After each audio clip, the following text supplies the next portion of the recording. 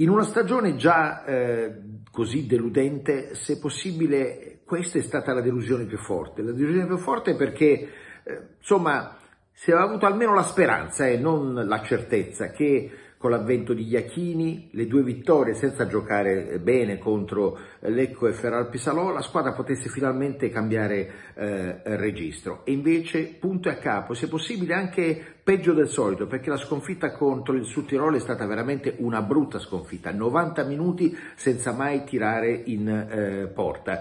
Questo cosa vuol dire? In qualche modo l'aveva fatto capire anche Iachini, sì, eh, la grinta, la determinazione, sì, ma poi bisogna giocare da squadra. Eh, oggi non c'erano né grinta né determinazione e non c'era neanche la squadra. In fin dei conti eh, niente di nuovo sotto il cielo, perché fuori casa in particolare di partite così brutte ne avevamo già viste, ma questa fa molto male.